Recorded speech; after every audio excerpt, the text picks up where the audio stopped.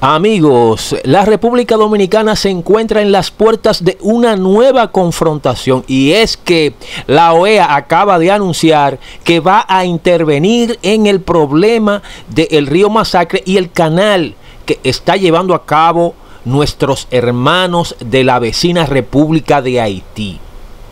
Así lo anunció Luis Almagro. Antes de seguir con esta información, si no te has suscrito al canal, hazlo porque voy a seguir hablando de este tema y de muchos más importantes que sé que le van a gustar. El secretario general de la Organización de Estados Americanos, OEA, Luis Almagro, propuso que una misión de expertos evalúe la construcción de un canal de riego en Haití.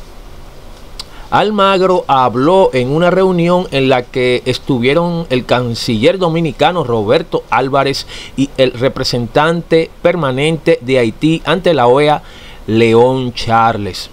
Almagro nuevamente llamó a los dos países a que resuelvan el conflicto por vía del diálogo. Propuso una reunión de ambos eh, delegados organizada por la Secretaría General de la OEA en una zona en la que ambos estén de acuerdo.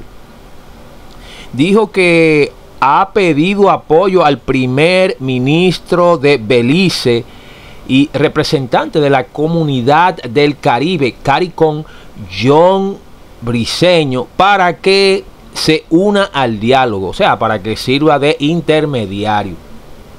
El 26 de septiembre último, la Secretaría General de la OEA emitió un comunicado en el que llama a República Dominicana y Haití a solucionar su diferendo mediante el diálogo y evadiendo las tensiones. Eh, tenemos que mencionar también, señores, eh, tratando con este tema, que recientemente, hace el lunes, eh, se incendiaron algunos locales que habían en la frontera dominico-haitiana, precisamente en Dajabón, donde se quemaron alrededor de 30 locales del mercado binacional.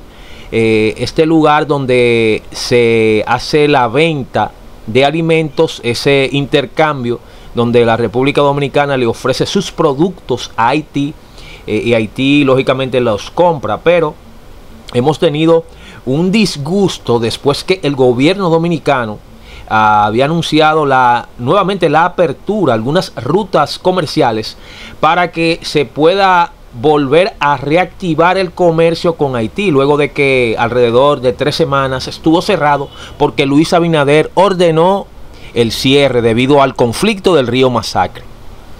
Eh, aún se está investigando ese caso sobre quién incendió esos locales, pero muchas personas apuntan a que fueron nacionales vecinos de Haití que disgustados eh, por este supuesto maltrato del gobierno de Luis Abinader eh, generaron este siniestro.